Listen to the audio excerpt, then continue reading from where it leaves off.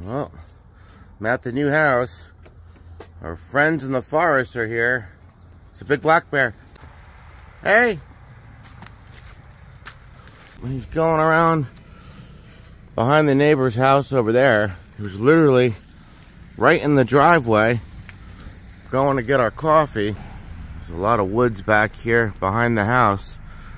That was a that was a big bear.